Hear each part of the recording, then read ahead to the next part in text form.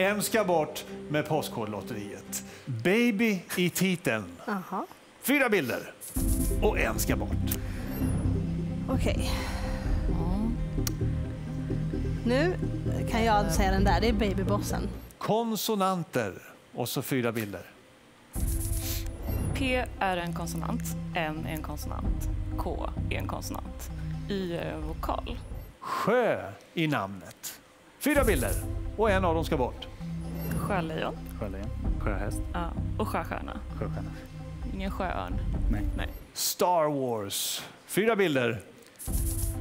Och en ska bort. Med tanke på att du har tvingat mig att se alla filmer. Har han det? Ja, flera gånger. Jag somnar alltid. Så att, Flera eh, gånger. Huvudstad i sitt land. okej. Få höra vad ni säger om de här bilderna. En av dem ska bort. Eh, det där är ju eh, Vita huset i... Precis. Pad Thai.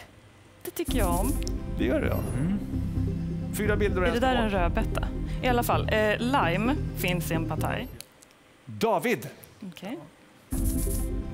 En av bilderna ska bort. Jag vet vilken som ska bort. Det där är David Lindgren. Centerledare. Mm. Fyra bilder och en av dem ska bort. Då ska vi se.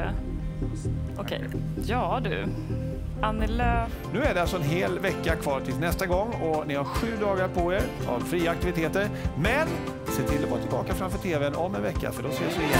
En ska bort med Postkodlotteriet. Hej då!